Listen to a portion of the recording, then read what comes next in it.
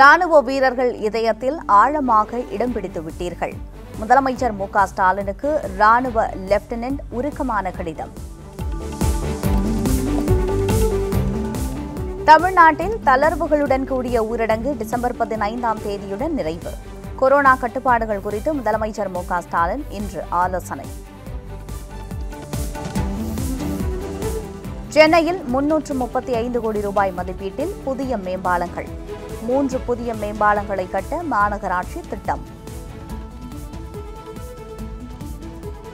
இன்று அதிமுக உட்கட்சி தேர்தல்.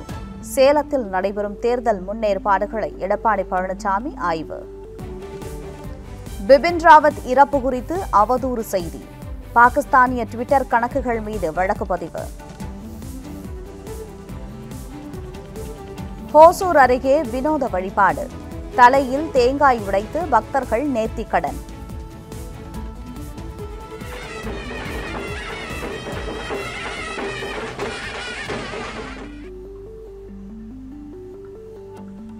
ராமநாதபுரத்தில் இருந்து மலேசியாவிற்கு வேலைக்கு சென்ற இளைஞர்.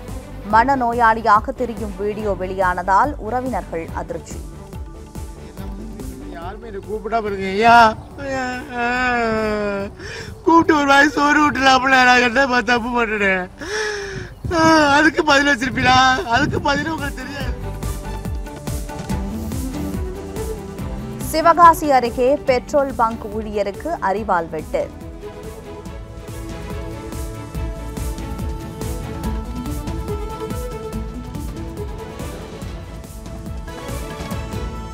தப்பியோடிய இளைஞரை தேடும் போலீசார்.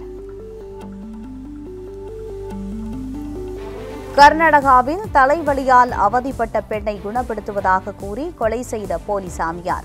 சிறப்பு பூஜை செய்வதாக கூறி கரும்பால் அடித்து கொலை. வங்கியில் ஐந்து லட்சம் ரூபாய் வரை வைப்பு தொகை இருப்பவர்களுக்கு காப்பீடு வழங்கும் முறை நேற்று முதல் அமலுக்கு வந்தது. அமெரிக்காவை தாக்கிய புயலால் ஐந்து மாகாணங்கள் பாதிப்பு.